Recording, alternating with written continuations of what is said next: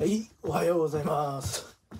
映画監督の白石浩二です。えー今日もですね、えーおすすめの映画を紹介しますが、腹筋ローラーもやりながら、腹筋ローラーやりながらおすすめのの映画を紹介します。逆になっちゃった。で、ジャンプもしたり、えー、椅子軸法、見よう見まねの椅子軸法もやったりしながら、今日ご紹介する映画はね、日本映画。まあちょっと昔のね、日本映画です。えっと、私は、えー劇場で見たことはずっとなくて、DVD とかで見てて、えっと、フィルム、えーフィルム上映でね、その、つい最近ですね。いつだっけあれ？去年だっけ？一昨年だっけ？で、やっと、あのーまあ、名古屋のシネマスコーレで、えーこれ、えーフィルムでね、かけていただきまして、その時初めてやっと、あの劇場で見ました。まあ、これ、よかったですね。幻の湖、えー監督は、あの橋本忍さん、名脚本家で有名な橋本忍さんが、えー監督しておりまして、もちろん脚本も、えー書いてあります。原作っていうふうにも書いてあるんで、まあ、原作ってあの小説とか出てるんですかね。原作があるのはちょっと読みたいですね。はい。というわけで今日はこちらをお勧めします。まあ、あの、とかく、あの、アウスの湖ね、あの、どうしても紹介するとき、あ、あ、ごめんなさい。幻の湖さんごめんなさい。どうしてもとかくね、あの、幻の湖というのは、まあ、あの、お金をかけた超大作、東宝何十周年記念とかで確か作られた映画なんですけども、えーまあいろんなね、えっ、と、そういうな、1000万だっけな。あの、当時の価格ですごいと思いますけど、主演女優さんをね、確か、すごいオーディションして、えーお金、確か1000万ぐらいもらえるとか、えっ、と、ちょっと金額違ってたらすいません。とかっていうね、オーディションして、本当にもらったかどうかね、わかりませんけども。そういうこともやって作った、鳴り物入りでね、公開した映画なんですけれども、興行はまあ非常に惨敗で、まあ作品的な評価も非常に惨敗で、で、未だにね、その、まあ非常に、まあ、いわゆるとんでもな感じ、内容の映画なんですよ。まあ、ある種電波系映画と言ってもいいと思います。私の中にあるそういう、まあ、ちょっとその、電波を受け取ってしまった人の、えー話だったり、あるいはもう作り手そのものが、あの、ちょっと電波を受け取っているかのような、何かに憑依されたかのように、ちょっと、現実世界とは、ちょっとずれた感覚でね、えー異様な感覚で作ってしまう映画のことを私ちょっと電波系映画って昔から呼んでるんですけどあのこのまあ橋本忍さんあのなんていうんですかね、えーやっぱりそのご自身の脚本作、えーにも、えーまあ有名なところだとあの八つ墓村とかですね、えーありますけどもそうやっぱりねその因果応報とかあのそういう、えー目に見えないつながりとかそういうあのなんていうんですかね運命的なものとか、えーそういったものに非常に強く惹かれる要素がおそらくあるお方でその思いの強さ気持ちの強さから、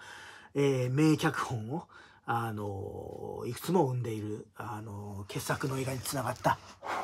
脚本家さんだと思うんですけど、えーこの幻の湖はその思いがその非常にこううーんまあ私の中でいうところの電波的なね。まあ。えー、と陰謀論的であり、えー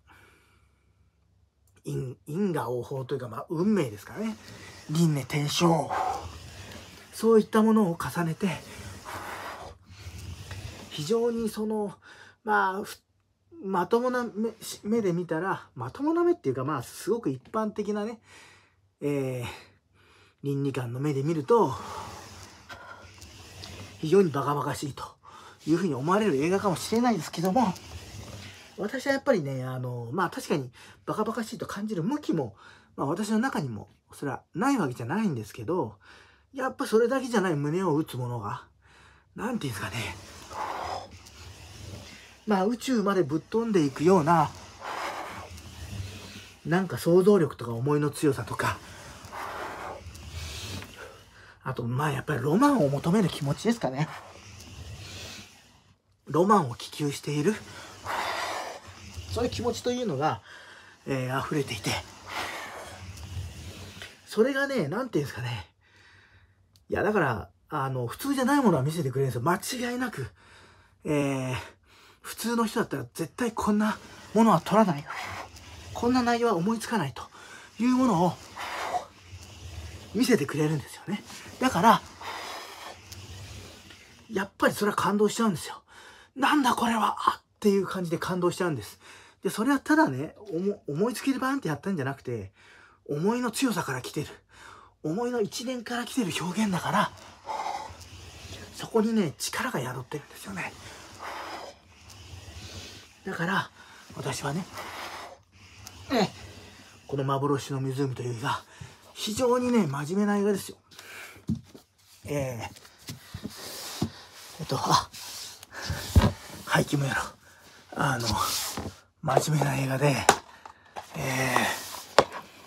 ー、ものすごく真面目に作った映画なんですけども、まあだから、橋本監督はそれをね、馬鹿にするような言説はきっと傷つかれたと思いますけども、まあ私は、この思いの強さはまあ馬鹿にはできない。えー、なんていうんですか、超ド級の映像体験ができると言いますか。あの、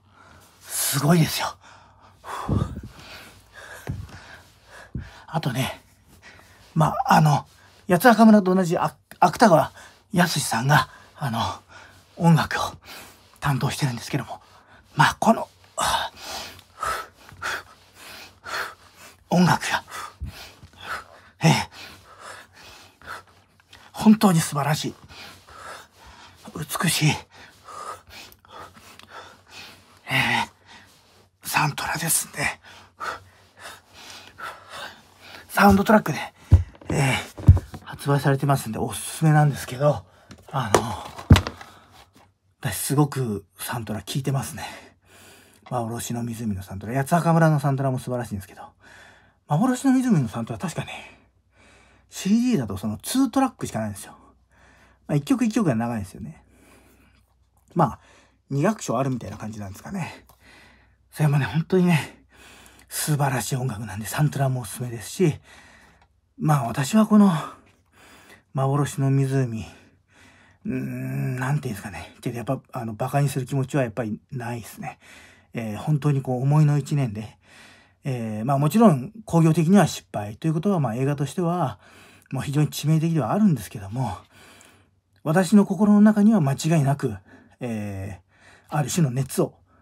残してくれた映画で、それがあの、間違いなくこれは私の映画作りの中にそのエネルギーが生きてますんで、えー、工業的には、えー、振るわなかったと思いますけども、まあもちろんそのエネルギーがあったがゆえに、ただ忘れ去られる映画ではなく、えー、いろんな人の、えー、語り草になって、今でも、えー、最近ブルーレイが発売されてね、えー、私ちょっとまだ買ってないですけども買おうと思ってますが、えー、そういうね、えー、未だに愛される作品になっているというのはやっぱりそれだけのパワーがあるっていうことです。で、まあ笑っちゃってる、見ちゃってる人も、やっぱりね、奥底ではこの作品の持つ、えー、エネルギーに気づいてるんじゃないかなと。えー、無意識レベルではね、気づいて何かこう、まあ、やられちゃってるっていうかね、えー、だと思います。えー、見てない方がいたらね、あの、もう本当えー、まあ、通常では味わうことのできない映画体験することができますんで、なんだこれはと。えー、何を見ているんだというふうに思うかもしれないですけども、やっぱ思いの一年なんですよね。それがゆえに、これなんて言うんですかね。こう、まあ自分の中ではこれが映画だなと。こういう奇跡的な映画を自分はその意図的に作り出したいっていう。これを、この高みにまで行きながら、えー、かつ、えー、しっかりと娯楽映画としても、えー、構成演出、えー、そういったところでも娯楽映画としても非常に、えー、見せ場のある映画を作るっていうのが、まあ、本当に私の映画作りの目標としているところですね。えー、それでまあもちろん工業的にも成功するというところが、えー、私の本当映画作りの目標です。えー、そういうね、あの、奇跡の一端をね、あのー、凄まじいパワーでこれ見せてくれる映画なんで、えー、ぜひぜひ本当に、えー、本気でおすすめです。えー、食わず嫌いな方いたらね、ちょっと見てみてください。あの、映画の見方変わるかもしれません。はい。それぐらいすごい映画です。おすすめです。それではまた。